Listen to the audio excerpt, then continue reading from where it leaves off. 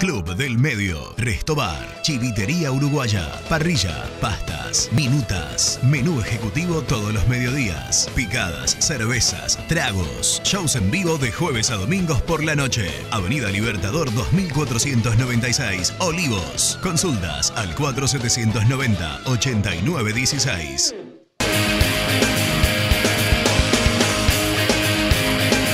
Con todas las ganas empezando una, una nueva etapa, esperemos que, que sea positiva y que nos encuentre en diciembre con, con, el objetivo cumplido que es el ascenso. Acabo de firmar el contrato, por, por suerte ya firmamos el vínculo por un año y medio más. Hay una chance de jugar una categoría más alta, me imagino que en una parte eso motiva, pero tener revancha en el club también, ¿no? Sí, sí, obviamente. La verdad que después de esa final quedamos quedamos mal porque se nos escapó por unos pocos minutos, entonces era, era lindo una revancha, si bien eh, ascender una categoría eh, en lo personal sería había sido muy positivo, pero bueno, yo le había prometido a los dirigentes que en la B Metropolitana jugaban nada más que en Platense.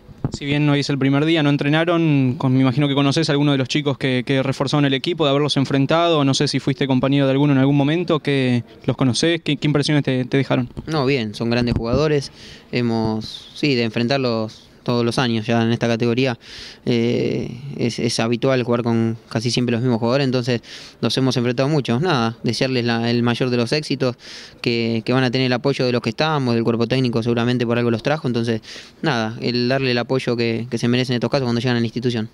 Sí, la verdad, bueno, eh, contento, eh, la verdad que es un grupo, no los, no los conozco mucho a los chicos, pero se ve que hay un grupo bueno, hablamos con el técnico, nos comentó que había un pro bueno de, de chico y bueno, nada, eh, contento por el primer día y ya para mañana empezar a arrancar a entrenar.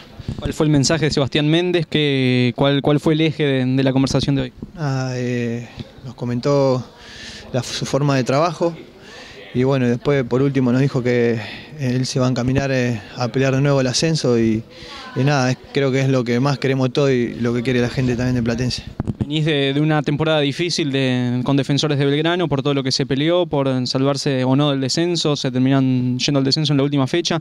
Me imagino que la presión que vas a tener ahora va a ser también parecida, pero por lo menos para conseguir algo distinto que es un poquito de alivio, ¿no? Sí, la verdad que, que sí, que eh, como vengo de un, de un año difícil, de, bueno, de irme al descenso y bueno, pasar a un club grande y creo que la presión eh, va a ser más linda, eh, es por algo, es por el ascenso, ¿me entendés?